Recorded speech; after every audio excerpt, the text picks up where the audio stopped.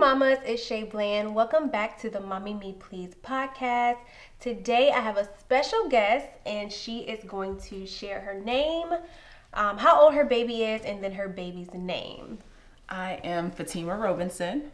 Um, Imara is four months old, and my daughter's name is Imara. So um, both of us um, had a baby during the pandemic, and so this um, episode is strictly on that. Um, and so yeah, so the first question I want to ask was, what was the most difficult challenge you faced while being pregnant during the pandemic? Um, the most difficult challenge for me had to be um, when I was pregnant. I couldn't really see anyone, and I couldn't really have the assistance or my family there. Um, you know, my baby shower had to be virtual. Gender reveal virtual. There were a lot of things where I wish I could have been with my family, who was actually in New York. So they're from. I'm from Brooklyn. Um, so with my family not being there, it was it was really difficult. And you know, I was sick, and the only person I could really, really be around was my husband. And I could barely be with my parents. I could barely be with my in-laws. It was just my husband and I. Yeah. So same. It was definitely the fact of I could not go anywhere. Like I'm a I always say I'm a very spontaneous person. I like to get up and go. And the fact that I couldn't see family, I couldn't see friends, have them come over, um, it was a little bit difficult and honestly like a little depressing. Like I don't like to be in a room by myself. I don't like to be like in the house by myself. My husband had to still work. So me being pregnant in the house, looking at four walls was sometimes depressing. He's like, he didn't get it until actually, because we both had COVID. We did end up catching COVID after we had a child. But when he caught COVID, he um, found out how stressful and depressing it is to be in the house and can't go nowhere. So that's definitely like one of the biggest challenges was having to be in the house. So Yeah. Let's see. Do you feel the pandemic benefited you in any way while you were pregnant?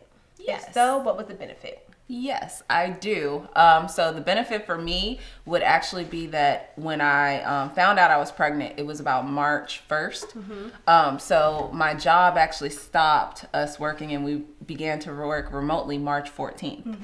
Um, so with that being said, I went through the throwing up stage, the everything, everything that I went through while pregnant, my sore feet, everything I went through at home. So mm-hmm. I could rest, I could relax. That was a positive of being in the pandemic is that I mm-hmm. could still work, mm-hmm. but at the same time I could be sick and I didn't have to take off from work. So that was the benefit. It's crazy. So a little backstory about like Fatima, right? She lives right across the street, okay? yes, I So we both was pregnant during the pandemic. We both came home the same month. Yup. So like that's why it's like really like special because we both kind of went through the same thing. And Yup. so I would definitely agree when he said being home and being able to work and I have to take off. I didn't get too sick. However, it was um the smell of people warming up their lunch at work. Oh man. I was like, it stinks so bad. But like once I came home, it was still like the refrigerator. Like y'all, I could not go to the refrigerator. Yeah, that was me. I, I couldn't do the fridge. Yeah. But not only that, but because I was so early, I didn't get sick um, or morning sickness when everyone else got morning sickness, you know, Mm-hmm. before the pandemic hit. I got morning sickness when I came home. Home. Like everything hit me like three weeks after we were home. Mm-hmm. Like it was like, oh man, like I don't feel good. I only could eat at one point. I could only eat Lucky Charms, Mm-hmm. and I like I'm not even joking. Brandon had to bring it upstairs. I wouldn't eat anything at one point. I could only eat Lucky Charms. It was so bad. It was so bad. I was so sick. I was so sick. And finally, you know, second trimester, everything was good. But um, I actually had a little bit of a difficult pregnancy. So it benefited me because um, they assumed that my daughter was IUGR, which is intrauterine growth restricted. Um, so I used to have to go to the doctor's appointments like every week. I was in a doctor's office. And I that started second. That started second Oh. trimester. So she was born early because they scheduled it early Mm-hmm. because they assumed that she was intrauterine growth restricted. So for the people that don't know what that is, me, what is that? Like So basically, she was a smaller baby. Okay. So they thought. So I had to go to a um, MFM Um, so a maternal fetal medicine doctor as well as my um, OB. Um, so every week I literally had to go to a doctor and I would get an ultrasound every two weeks instead of every month or every other month.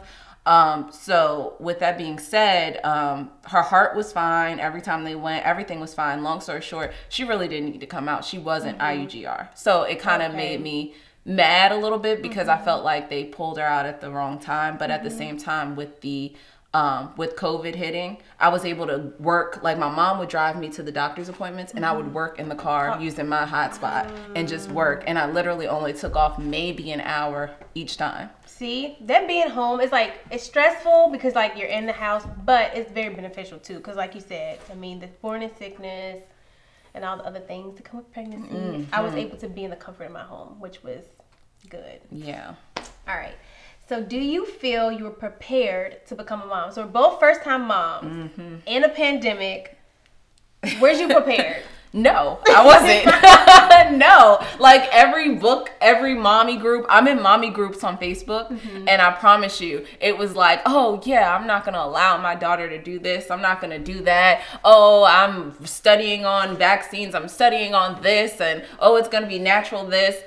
I'm gonna be honest with you. Half the time, I just follow the beat of her drum. Like mm-hmm. just like with food. Like right now, we're starting on rice cereal or baby oatmeal. Mm-hmm. I thought I would do baby led weaning. Didn't happen. She's mm-hmm. like, oh, okay, you know, grabbing at my plate. All right, let's go ahead and do oatmeal and see if that stuffs you up. So like for me, the the expectations that I had completely went out the window by Yes. two weeks. It was over. Yes. I was like, you know what? I'm gonna just do what she wants to do. No, mine was the first day. She came home, and I said it before. I said my baby not gonna sleep with me, and then she was right there beside Yes, me because that's I mean, exactly that's what just you know, literally like when you said the beat to their drum, they literally run it right now like they're babies, and you can't really tell them what. That's exactly what, do. happened. Like her halo bassinet, I got it. I was like, oh, I'm gonna have this halo. It's gonna be so Mm-hmm. great.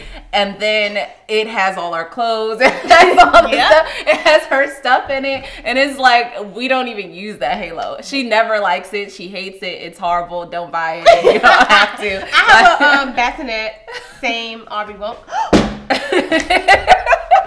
That was my water, guys. Don't go with water. Um, but yeah, she she hates the bassinet. The playpen, she sleeps in it sometimes. Um, and the DockATot she likes, but the bassinet she likes the DockATot too. She don't like it. I guess Uh-uh. it's too hard. It's too much. I don't know. She just don't like it. But So- the baby loves the DockATot. For some reason, yeah, the think it's like snuggly yeah, and that was expensive, move- but yeah, it is woo, expensive. it's good. When they move, they touch it, so they feel like somebody's holding them. I think it's just you know comforting. Yeah. Um, but I definitely will say I wasn't prepared. Mm-mm. I said all the things I was gonna do, all the things I wasn't gonna Listen. do. Let me tell And- you. So beforehand, the first 48 hours, right? Thankfully, um, you know, the doctors allowed because Brandon had to work. So he saw Wait, the on the birth day- on the day of the birth. He had a test that he had to take for his job that next day. So how they did it was, you know, at the hospital you're only allowed one support person. Mm-hmm. So the hospital, you know, felt bad for me, I guess. Mm-hmm. So what they did was as soon as as soon as Amara was born, mm-hmm. maybe two hours later, my mom was allowed to switch over with Brandon. So she was able to mm. take care of me for the 48 hours after I gave birth. So he was able to see her and she was mm-hmm. able to help me, which helped a lot because I almost gave her formula. Like mm-hmm. the first 20, the first Girl. 24 hours was like, I didn't know if she was getting enough. I was crying. I was miserable. They kept coming in every 15 minutes. And I was like, okay, I'm fed up. I'm giving her formula. My mom grabbed her and was like, You're not giving my grandbaby formula. like, you're not doing it. The nurse came in. I had called the nurse. She gave us four things of formula. Long story short, I didn't give her the mm-hmm. formula. But you know, I was at that point, and that's another issue with the pandemic is because you only can have one support person. It's so hard because my mom, you know, she was, I was lucky enough to be able to switch her over. Mm-hmm. Had it been my husband, he's formula fed. His daughter was formula fed. Mm-hmm. So, you know, had it been him, he would have said, okay, just give her the formula so she'll be quiet. Mm-hmm. Instead of, you know, how my mom did it, which was, you're not giving her formula, she's getting everything she needs. Don't do that right now. So let's jump into it. So that was one of my questions, kind of further down the line, but let's Oh, just wow. skip. So. Um, when it came to breastfeeding, what was your biggest challenge? So I didn't know, you I- know, about the about the you know being you being in the hospital and feeling like you know what this is crazy i'm ready to give her formula was Mm-hmm. it anything else like i mean that was big but anything else like Yeah. So so with breastfeeding, um, the first two weeks were kind of like, well, not even the first two weeks. Yeah, I would say that. So with the first two weeks, it was so hard. Mm-hmm. Like it, it had to be the hardest ones because I didn't know if I was giving her enough. I didn't know what I was doing. My mom, who breastfed me, you know, she was like, you know, Fatima, it's okay. She's getting enough. She's getting Mm-hmm. enough. And I kept saying, oh, my baby's not eating correctly. She keeps crying. She keeps crying because I didn't know her yet, Mm-hmm. and she didn't know me. So you know, it's crazy because finally I went to my doctor's appointment with her, you know, or her doctor's appointment, Mm-hmm. and at her two weeks, she had gained two and a half pounds. See? I was like, oh my gosh, she was five pounds even Mm-hmm. when we left the hospital. She was seven and a half pounds at her two week appointment. So I was like, wow, I guess I'm giving her enough. Enough, and that yeah. kind of like helped me a lot. But I feel like the difficulty was that as well as the fact of her attachment, which is still today Mm-hmm. the issue is that she's super attached to me. Um, you know, she's gotten better now that she's older, Mm-hmm. but when she was between, you know, firstborn to three months old, she wouldn't go to anybody. Like and they don't tell you that when they tell you to breastfeed, y'all. I was like, why does she only like want me? It was so stressful because it's just like, dude, like, Yeah. I love you, I do, but, But I need a break.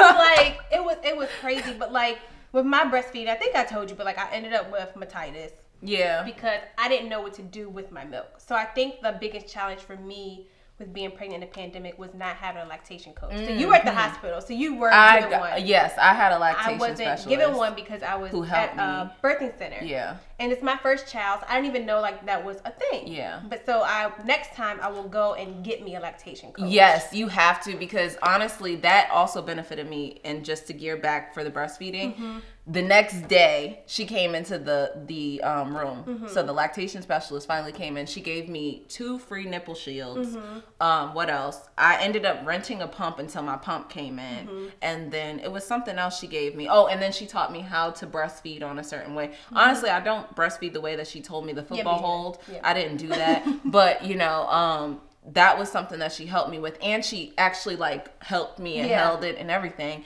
And it was like, okay, had I not had her and my mom in that hospital, I don't know what I would have done because Yeah. it was the first. What they don't tell you is the first forty eight hours are the hardest. They gonna be most on difficult. your nipple the whole time. It's non It's so difficult, and it's like they don't tell you that. They don't. They don't tell. It's like, oh yeah, you know, having kids is a breeze. and, blah and blah breastfeeding blah. is No. oh you just see the breastfeeding moms like oh now It don't get me wrong but it, it used to hurt now don't get me wrong now I be cooking and, you know I be doing everything but the first like I be telling you know people that's breastfeeding now I'm like it's hard the first couple weeks are going to be hard but once you get through it You're good. you're good now the nipple shields so I did use nipple shields because my like nipples are like invert what is it called flat they're flat Uh-huh. let's just say that they're flat So I had to because the- they cracked. Okay. They cracked bad. So how did you wean her off of the nipple shield? I didn't. To be honest with you, I did a bunch of stuff that I just randomly was like, all right, I'm just gonna try something. Mm-hmm. You know, I know she's gonna have to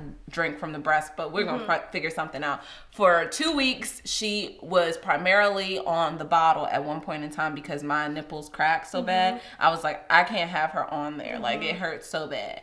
And then um, the nipple shield piece, like I used it randomly, Mm-hmm. but I honestly had to work through the pain. Like it, that's really what it Yeah. was. It was working through the pain. Like that pain is a mind. Like It it will mess with you. But once you get to a point where your nipples get better Mm-hmm. and they actually like, I don't know what happens with the nipple, but for some reason it's like it just turns on a switch and it's, like, okay. oh, I can do this. Yeah, it's all like, right. It's not flat no more. It's like, oh, I'm here for baby. Yeah. But yeah, like, so the nipple shield, Aubrey was on it for a very long time, and I used to feel like I wasn't good enough.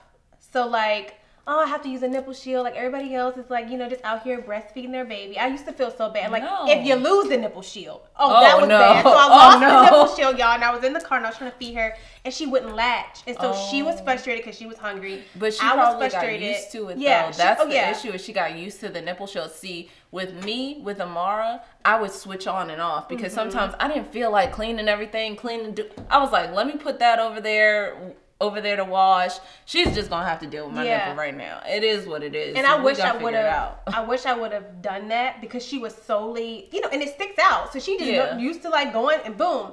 But like again, my nipples were very flat, so it was very hard for her to latch. And then so one day, um, and this is for all the moms that are using a nipple shield. One day I just like held my breast and I like pinched it. That's what I did. and That's so it, exactly it helped did. it come out. And I had to do it like, you know, two maybe You two gotta days. help them, though. Yeah. That's and what after it that, is. She was able to latch on. And now they're not flat. They just, you know. Yeah, but see, you gotta help them though. That's the thing is that I don't think they teach you that, you know, it's not just, oh, here you go, and the Mm-hmm. baby. Yes, they can find the nipple, but sometimes it's hard for them to latch. So Mm-hmm. you have to help them. Sometimes, you know, luckily we don't have the tongue tie issue, Mm-hmm. but sometimes they have a tongue tie. There are so many other reasons that are not your fault. yeah. It's not your fault. Or lip tie because Yeah. I just found that a couple days ago. It never um, bothered Aubrey for latching with gas. I think it has. That's she what had I a was- lip tie. yeah. And for y'all that don't know, a lip tie is right here. It's like if you lift it up, you'll be able to see the skin. And then a tongue tie is the same thing. Like I don't have a tongue tie. Like I can lift my tongue. Yeah. But um, so that's what that is. But she was able to, like I said, latch to the nipple shield.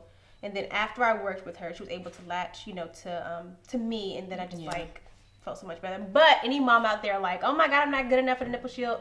Yes, you are. It's just something to help you through it. It's okay. Like, Also, what I will recommend for any mom out there is to follow the mommy boards, or not necessarily a mommy board, the breastfeeding, exclusively breastfeeding group. Mm-hmm. Because what you can do is they will tell you options before you have to do formula. If you want to do formula, that's fine. I don't want you to think Yeah. that it's, it's bad to do formula. That's a personal preference. Mm-hmm. But if you are really trying to go through the breastfeeding journey, follow the exclusively breastfeeding moms because that that group was good for me That's that's good. and it's i think there are millions of moms that are in mm-hmm. there now but honestly and that's, That's like good. yeah and that's not a you know plug that's just real mm-hmm. life that's what mm-hmm. helped me good. Well, let's see, because you know I had skipped down. I don't know. I think that was that was my next question. Okay, so cool. Today's episode is sponsored by Infocus Media. From portraits, weddings, and sporting events, they have all of your media needs. Be sure to visit their Instagram page at Infocus Media and their website, infocusmedia.com, and let them know Mommy Me Please podcast sent you. Back to the show. So now we're gonna go into our popcorn questions. I'm gonna ask you a question Okay. that you weren't prepared for. Okay. And then yours is kind of easy though.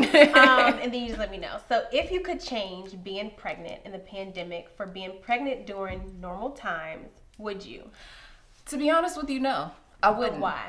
because i being pregnant in the pandemic although it had its faults of i couldn't go outside Mm-hmm. the other thing that was the benefit is number one i'm still able to be at home with my baby Mm-hmm. i'm still able to rest at home where a lot of mothers aren't able to do that while they're pregnant Mm-hmm. like and that's that's another thing that i don't think people do research i did research on it a lot of moms being in the pandemic helped them Mm-hmm. because they're not on their feet as much um what we didn't talk about is I actually work in DC. So mm-hmm. like Yes. my commute is bad.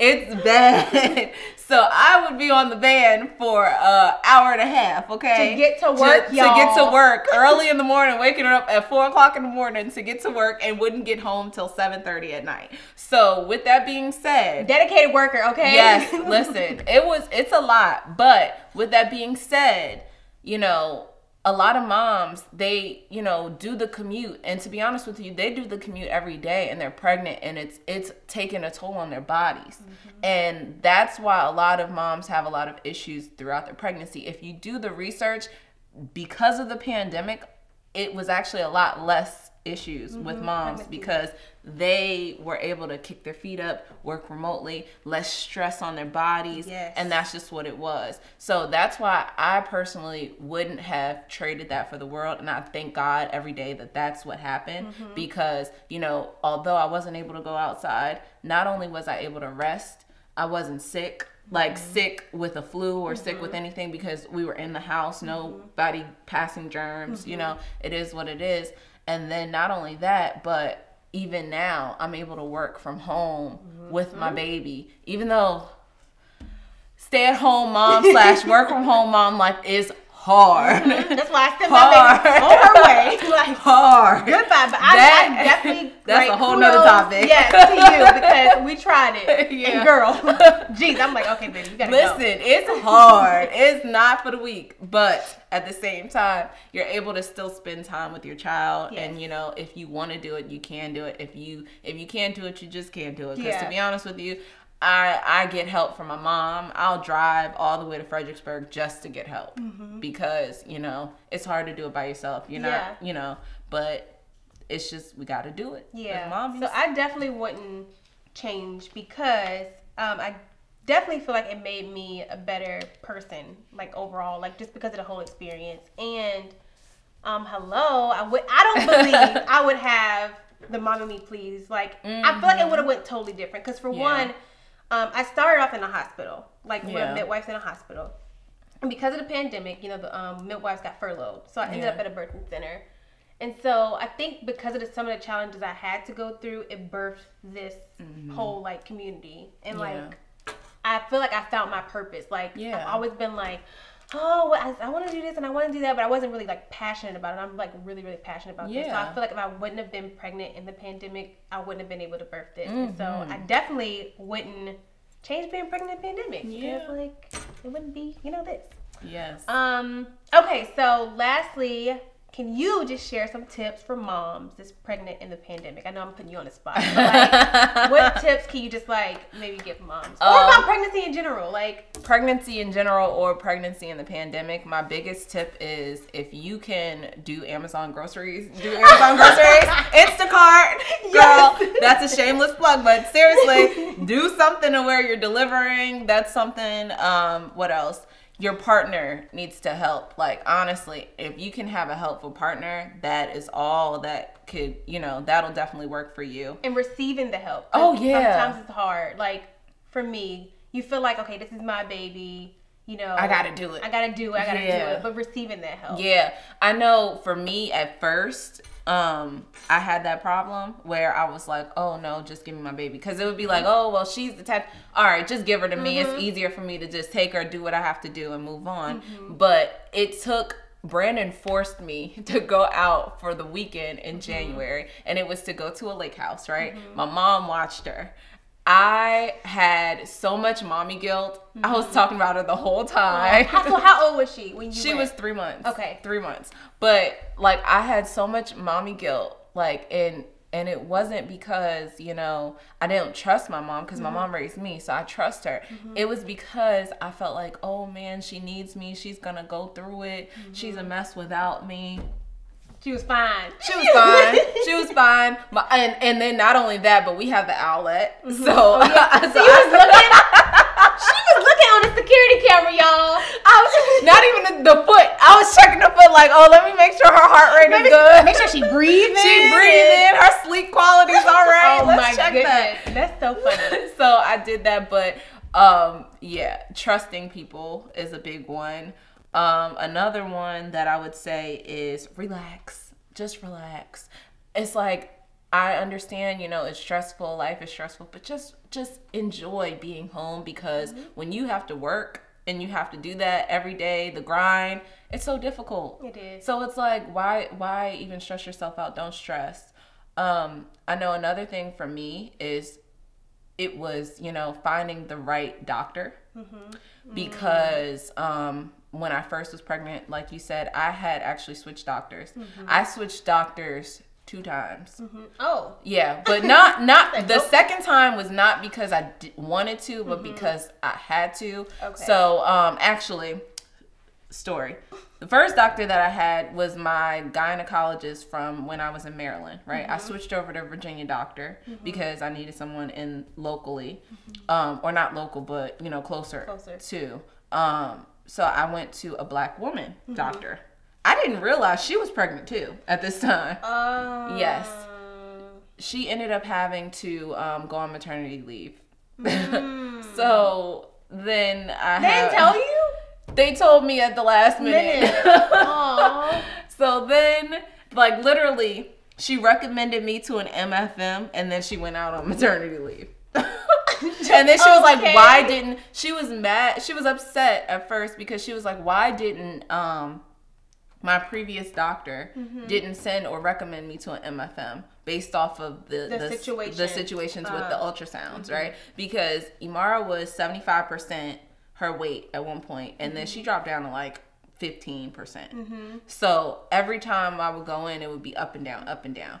And she was like, Why didn't they recommend you before to Yeah. an MFM?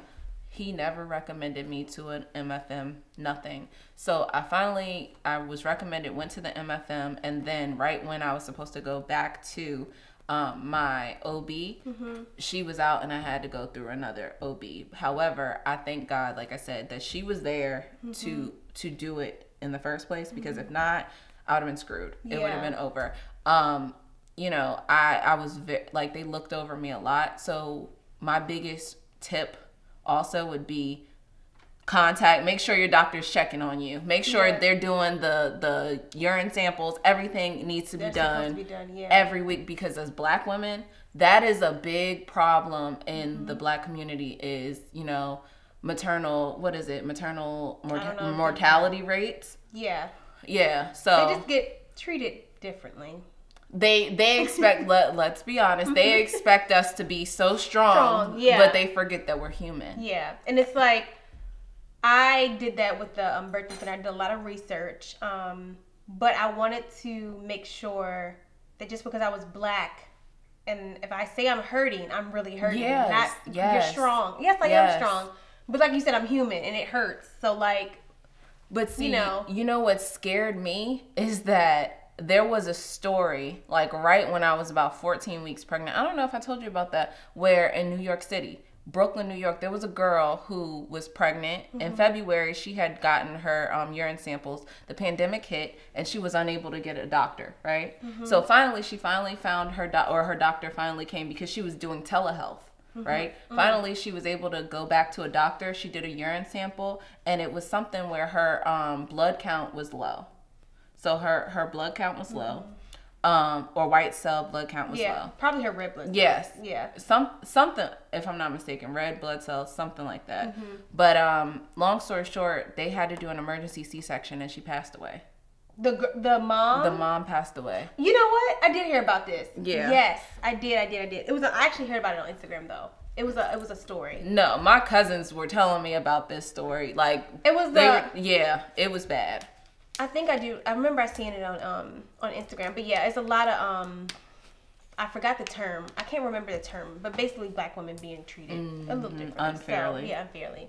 So that's that. So definitely do research on your doctor. make sure they're doing what they're supposed to be doing. Do your own research. Um, even when it comes to vaccination stuff like that, they're gonna tell you what they want to tell you, but it's very important for you to do your own research. So, Yes. Okay, well, I just want to thank you for thank coming you. by thank and you. sharing your story, sharing a couple tips with us. Um, yeah, that's it, guys, and I will see you guys in the next episode.